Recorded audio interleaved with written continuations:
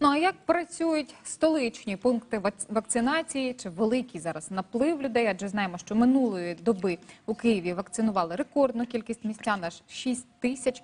То чи справляються медики? Зараз Наталія Лазарович перевіряла. І тепер в одному із пунктів щеплення вже з нами на зв'язку звідти. Наталю, вітаємо. Розкажи, що довідалася, чи багато роботи у медиків і скільки людей у ці травневі дні звертаються, аби отримати е, дозу вакцини від ковіду? Вітаю колеги. Ми зараз у амбулаторії номер 7 на вулиці Перова. Тут е, є кабінет е, щеплень, і нам вдалося з'ясувати, що за сьогодні щепили 10 людей. І це ті люди, кого планували щеплювати. Е, Люди з категорії ризику, пенсіонери. З'явилася інформація днями, що знайти можна найближчий пункт щеплення на сайті HealthyMe і е, приїхати туди на місце і вакцинуватися, якщо мати з собою паспорт, ідентифікаційний код. Деякі люди кажуть і пишуть в соцмережах, що вже скористалися такою можливістю. Тому ми зараз з'ясуємо тут в амбулаторії, чи приходять е, люди з таким запитом, щоб вакцинуватися одразу на місці, і чи можуть їх вакцинувати саме тут в амбулаторії.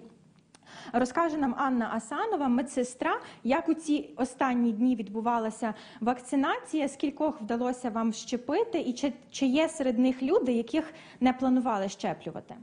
Доброго дня. Е, Так, бувають такі випадки, коли приходять з вулиці люди, ось в них є паспорт, є код, і просять їх щепити. Та е, діло в тому, що ми формуємо список на наступний день, і тому намагаємося щепити саме цих людей, які е, у нас по списку пріоритетні групи, тобто це групи ризику та група 60+.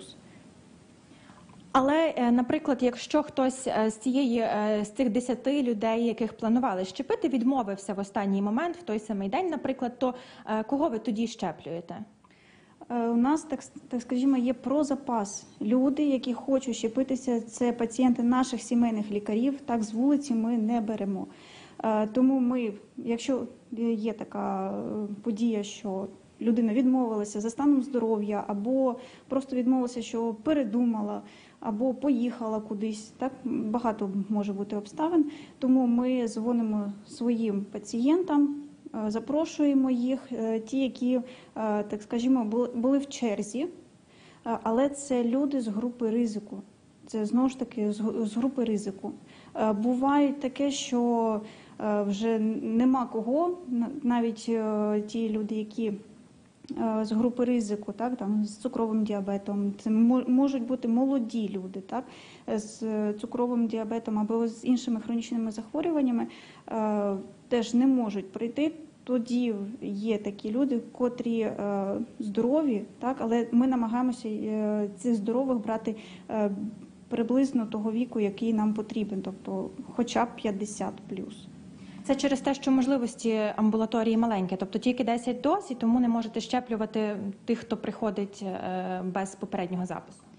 Ні, ми намагаємося йти в- ногу з дорожньою картою, тому і намагаємося дотримуватися всіх вимог. Вже закінчилася у вас вакцина. Коли очікуєте нову партію, почнете знову щеплювати? Ну я думаю, що на наступній неділі, тому можливо це середа, може бути це четвер. Не знаю толком. І ще е, є така інформація, що людей, е, які були в списках е, старшого віку, поменшало у ці дні після свят. Чи справді спостерігаєте таке, що люди відмовляються через якісь погане самопочуття або, можливо, через інші причини? Так, є такі люди, дійсно, що от сьогодні була така ситуація, що одна пацієнтка 80 плюс там. Спочатку вона відмовлялася, потім вона погодилася, але сьогодні подзвонила, сказала, що вона не може прийти, тому що в неї високий тиск.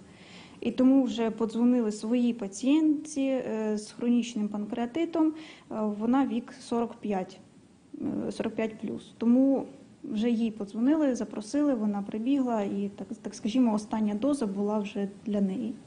Дякую вам. Також з нами тут е, у кабінеті щеплень ще є сімейна лікарка Катерина Поштарук, і вона розкаже, що ж тоді робити людям, які е, ну хочуть вакцинуватися і, наприклад, хочуть скористатись такою можливістю приїхати в пункт щеплення і одразу це зробити.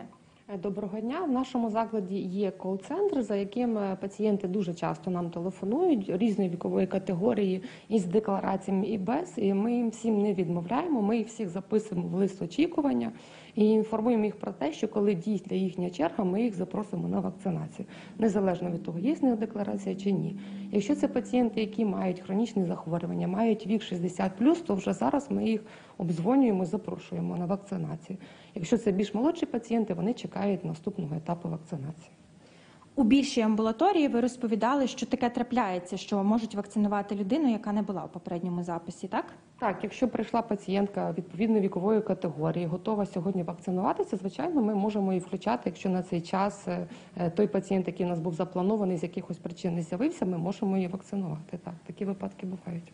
В- амбулаторії, де працюєте ви, скільки людей приблизно в день щеплюють, і чи там зараз є вакцина, коли знову почнеться щеплення? Е, Ну, станом на сьогодні вакцина закінчилася в усіх наших пунктах щеплення. В одному з більших пунктів щеплення на сьогодні було вакциновано 70 пацієнтів.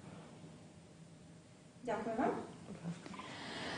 Е, тому ця інформація, яку от е, щойно озвучили наші спікери, те, що нам вдалося з'ясувати стосовно вакцинації, це залежить від амбулаторії, чи зможуть вас е, вакцинувати без попереднього запису, чи буде там е, необхідна кількість вакцин для всіх, хто були у списку.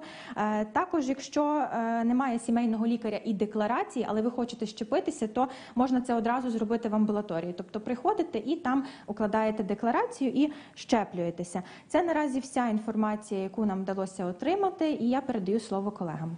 Що ж, спасибі тобі, колегу, за те, що так суттєво нам е, роз'яснила ці моменти. Це була Наталя Лазарович про роботу одного зі столичних пунктів.